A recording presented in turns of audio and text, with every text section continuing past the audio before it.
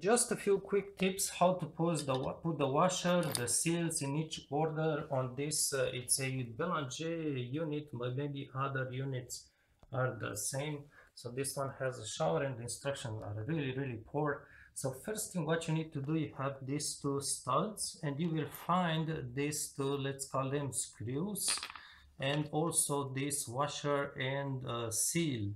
You need to remove them all these four remove them from the studs completely toss them on the side and then grab the plate. If you use the plate you are not it's not mandatory. You can just discard it or use let's just say use the plate. First pass this seal and uh, ring and you know notice this ring has a notch and also has a edge. This edge goes on the top and the uh, this uh, seal goes around it.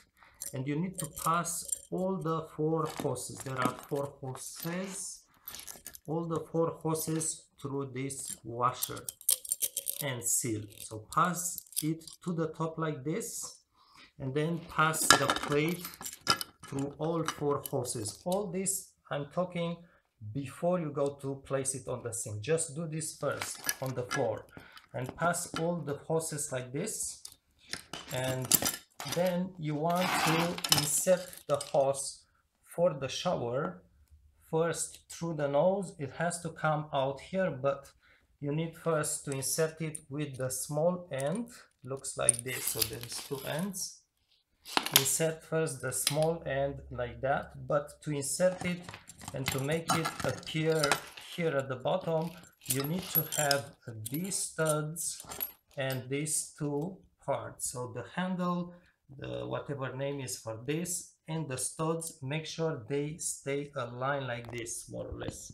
So make sure all the three stay aligned. Only then you can get the hose to come out here and exit here. Otherwise it's getting stuck in there.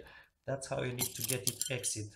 Studs align horizontal this one vertical this one vertical so uh, pass the hose pass it through the base as well and the hose will come out like this.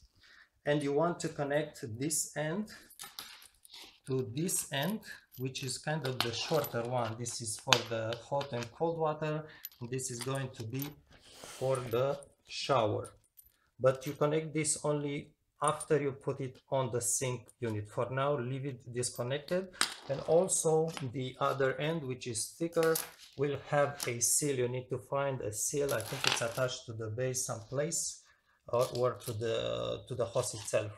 And just make sure you put the seal here before screwing in the shower itself at the top. We can leave this guy for the uh, for the end of it uh, this is uh, how this uh, washer and rubber seal goes. So you have the notch.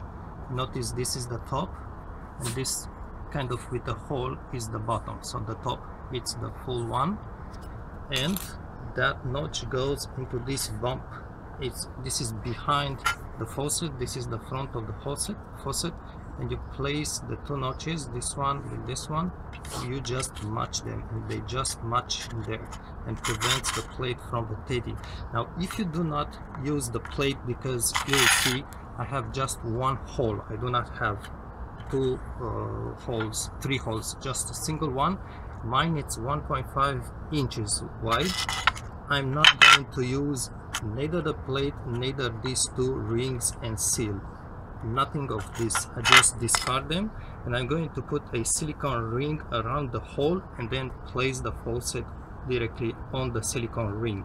Use any kind of silicone for kitchen. Go to your sink.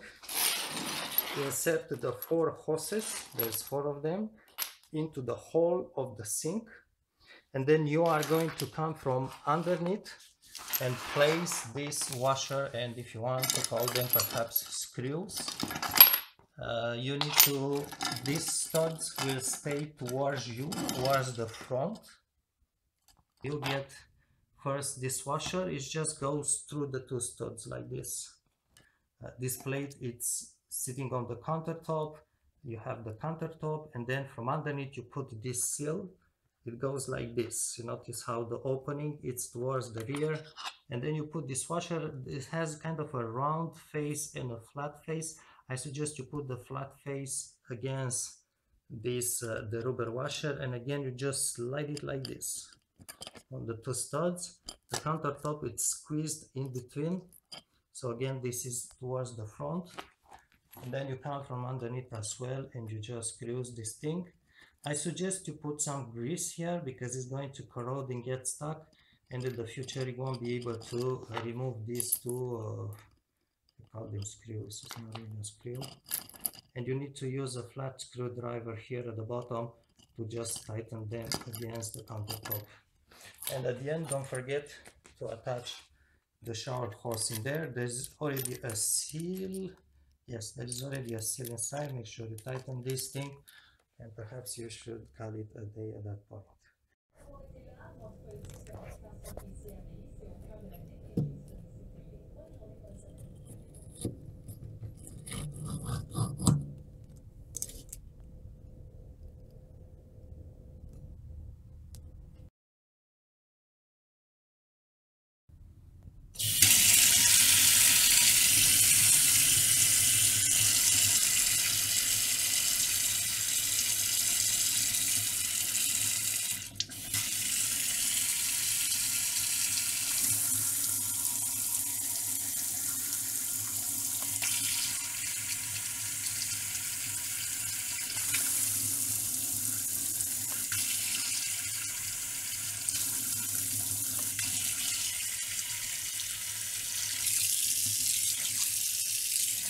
Thank you.